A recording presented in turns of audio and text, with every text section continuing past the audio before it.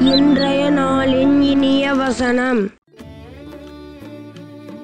நானும் என் வீட்டாருமோ வென்றால் கர்த்தரையே சேவிப்போம். யோஸ்வா இருபத்தி நா- நாலாம் அதிகாரம் பதினஞ்சாம் வசனம்.